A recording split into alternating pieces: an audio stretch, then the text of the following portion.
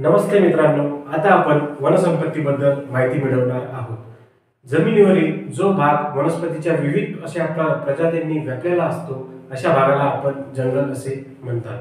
मित्रांनो जमिनीवरील साधारणपणे तीस टक्के भाग हा जंगलांनी व्यापलेला आहे.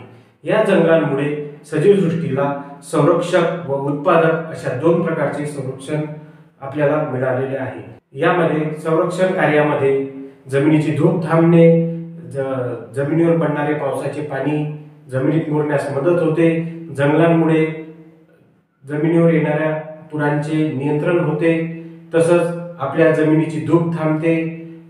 जंगलांमध्ये असणाऱ्या प्राण्यांना अधिवास मिळतो व त्यांची प्रजातीची उत्तरोत्तर प्रगती होत राहते. असे सर्व कार्य संरक्षक कार्य आपल्या निसर्गाला या जंगलांमुळे मिळालेले आहेत. जंगलांची उत्पादक कार्य सुद्धा आहे. यामध्ये शिसम साग कडुनिंब यासारख्या झाडांपासून आपल्याला चांगल्या प्रतीचे लाकूड मिळते व त्या लाकडाचा उपयोग आपण आपल्या घरातील फर्निचर व लाकडाचे इतर सामान बनवण्यासाठी त्यांचा उपयोग आपण करत असतो. तसंच चंदनाच्या झाडापासून आपल्याला अगरबत्ती औषधी वनस्पती व सुगंधी द्रव्ये मिळण्यासाठी आपल्याला मदत मिळत असते. त्याचप्रमाणे रबर कागद यासारखे उत्पादनं डिंक यासारखे उत्पादनं मिळवण्यासाठी आपल्याला जंगलांचा उपयोग होत असतो.